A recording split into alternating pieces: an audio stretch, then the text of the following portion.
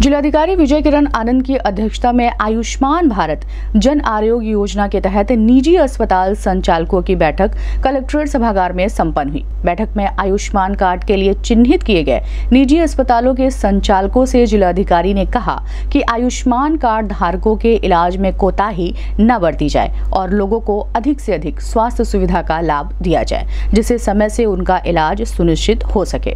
बैठक में CMO doctor Sudhakar Pandey सहित अन्य संबंधित अधिकारी और निजी अस्पतालों के संचालक मौजूद रहे। तो इसमें हम लोग करते क्या है कि जो सहजन सेवा केंद्र खुले हुए हैं कॉमन सर्विस सेंटर गाँव गाँव ग्राम पंचायतों में। उनसे हम रिक्वेस्ट करते हैं कि वो जाएँ और गाँव में कैंप लगाएँ लोगों को कार्ड बनाएँ। परंतु होता क्या है कि वो तो उन्होंने एक साथ खोली हुई है अपनी। कॉमन तो बहुत रेगुलरली जा नहीं पाते। जाते हैं उन्हीं के सहयोग से आज हम साढ़े चार लाख कार्ड बना चुके हैं अपने ज़िले में। जो कैंप लगाते हैं प्रचार प्रसार के लिए, उसमें इसका भी कैंप साथ में लगा जो कार्ड बनाने में पाँच मिनट लगता है। और आपके आरोग्य मित्र को पता होगा, कई हाँ एक्चुअली गोरखपुर में जो है, फोरला वो सेक्ट 2011 का डेटा था, उसमें नाम गलत थे या उम्र गलत थी। तो उसकी वजह से कार्ड रिजेक्ट हो जाते थे। जो सेक्ट जो अंत्योदय जो कार्ड है, वो आधार सीडेड है। और वो पूरे यूपी में सेकेंड नंबर पे हम मतलब पोजीशन करते हैं four lakh fifty eight thousand card लगाया जाए तो पाँच नंबर तो आपके हॉस्पिटल्स के लिए विन सिचुएशन ये रहती है कि अगर आप एक गाँव चूज़ कर लेते हैं, और वो सारा डेटा भी एनएफएसए के पोर्टल्स पे डेटा अवेलेबल है, कि उस गाँव में कौन सा अंत्योदय कार्ड धारक है, कितने परिवार हैं। और वहाँ पे अपना एक कैंप लगाइए और ये मतलब टारगेट रखी चाहिए कि इसको सेचुरेट कर देना है और वो आपके लॉयल पेशेंट हो जाएँगे या कभी उनको फ्यूचर में ज़रूरत पड़ जाएगी अगर तो वो आपका ही हॉस्पिटल नाम याद रखेंगे। तो आप लोगों से प्लीज़ रिक्वेस्ट है कि थोड़ा सा आप लोग भी पार्टिसिपेट करिए। अभी हम लोग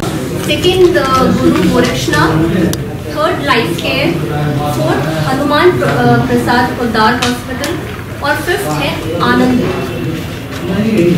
फातिमा हॉस्पिटल जो है वो 4,816 इतने इन्होंने केसेस किए हैं।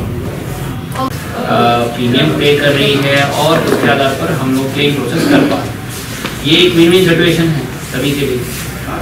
चाहे वो सरकारी इकाइयाँ हों या प्राइवेट इकाइयाँ हों दोनों को क्लेम करने से एक तो मरीज़ को निःशुल्क इलाज मिल रहा है। प्रीमियम अमाउंट जो हम पे कर गवर्नमेंट पे कर रहा है उसको जो कैपिटल इंटेंसिव स्वयं का पब्लिक इंफ्रास्ट्रक्चर बनाना उससे हम लोग बच सकते हैं। टारगेटेड इंटरवेंशन हो सकता है और प्राइवेट संस्थाओं को अपना निवेश बढ़ाने के लिए एक वित्तीय स्रोत मिल रहा है। तो बहुत विन विन सिचुएशन जो हो जाता है, उसमें दो तीन कारण पहला कारण है एसिमेट्री ऑफ़ इंफॉर्मेशन यानी हम लोग जो चाह रहे हैं वो सूचनाओं का आदान प्रदान रहा है। इसके लिए हमारा टेक्नोलॉजी सिस्टम बहुत रोबस्ट मैं आपसे आग्रह करूँगा, अगर कोई भी बात आती है, इसलिए ये बैठक प्रमुखता से बुलाई गई है, कि सीएमओ और मेरे संज्ञान में लाइएगा चाहे वो हम लोग ईज ऑफ़ डूइंग बिज़नेस में बहुत क्लियर हैं, बहुत ही ट्रांसपेरेंट है ये।